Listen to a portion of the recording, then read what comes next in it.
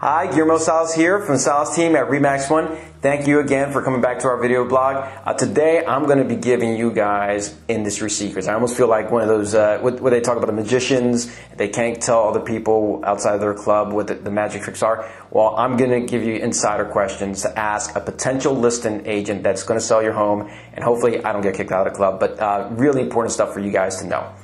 Uh, question number one. So the first thing we want to talk about is, uh, or the question you want to ask a potential listing agent is, what is their average sales price to list price? And what I mean is, you're going to decide on a price that you're going to list your home, right? And then ultimately it's going to sell, hopefully at that number, but it could sell for a number below that. And the market industry right now is about 92%. So here at the Salas team, we actually sell at 96%. We're, we're beating the market. But why that's important is, you know, unfortunately, um, not every agent's built the same, and there are agents that will go into your home and tell you what you want to hear in terms of sales price. Um, and unfortunately, they just um, the price keeps on dropping, dropping, dropping. And when you look at it, it's 80% or 85% of the original uh, sales price, and that's not necessarily what you guys want, right? Uh, so make sure you ask the question. and If that's below market industry standards, then really question whether that's the right fit for you. Um, question number two. You want to ask yourself, what are, what's, what are they going to do for marketing, right? There's a lot of things you can do for marketing. Um, and, and I'll hit a couple of those. For instance, staging, right? Staging and how you position the property. I, I mentioned this in some of our video blogs. Uh, first impressions are really important. So you want somebody who's experienced and has been through enough sales and has enough experience that can tell you, hey, this is what the consumer wants and needs and wants to see in a home and make sure they point out those, those key things and prep it so that when you get on the market, you're not adjusting afterwards. Uh, photos. I've also mentioned this in, in prior video blogs. Um, malpractice if you don't have professional photos. So if they are with you and they're starting to pick out, pick out their iPhone or the Android phone and take pictures, that's a full stop, right, guys?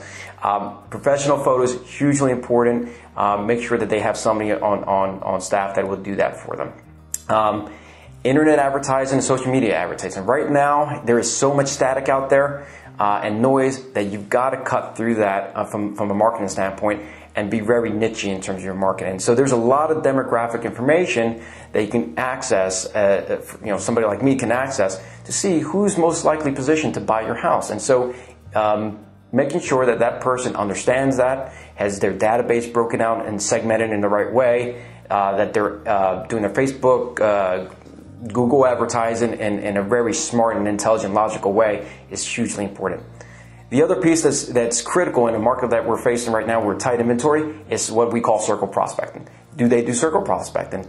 And what we do here, for instance, I'll, I'll explain what we do is we have a room full of uh, people who are calling from 8 o'clock to 5, 6 o'clock at night, calling around for, uh, for buyers. Basically, if you're listing your home, you need to be calling around the neighborhood and saying who's going to buy uh, your house. It's um, critically important in a tight inventory. And when you have that type of proactive marketing, that's what you want in your corner. Uh, number three, you know, you want to ask that question what's your success rate? And you want to look for key indicators of success. One of the key things you can ask for is how many houses they've sold.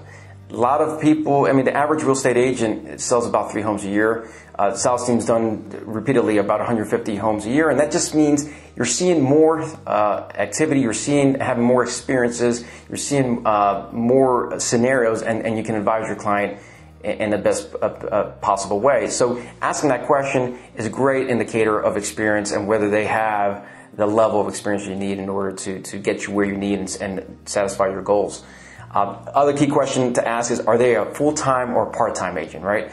Um, HGTV's been one of those boons to our industry, but also what it's brought is a lot of people who enter the market uh, thinking that it's a flexible type of career and they, they do it part time, and that's just not good enough for you guys, right? This is, in many cases, the biggest financial transaction in, in your lifetime, and you want somebody who knows what they're doing. And just like any other walk of life, with you're doctor, lawyer, accountant, um, real estate professionals, you, you hone your craft, you, you, you, perfect your craft, and not every agent's built the same. So if you really want to be good in, in anything, um, and it applies as well for real estate agents, you've got to study your craft and be good at it. And it's really hard to be excellent if you're a part-time agent. So make sure you, you ask those questions.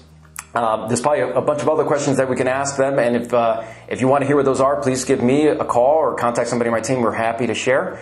And thanks again for for uh, watching this video blog, and looking forward to filming a couple more for you in the future.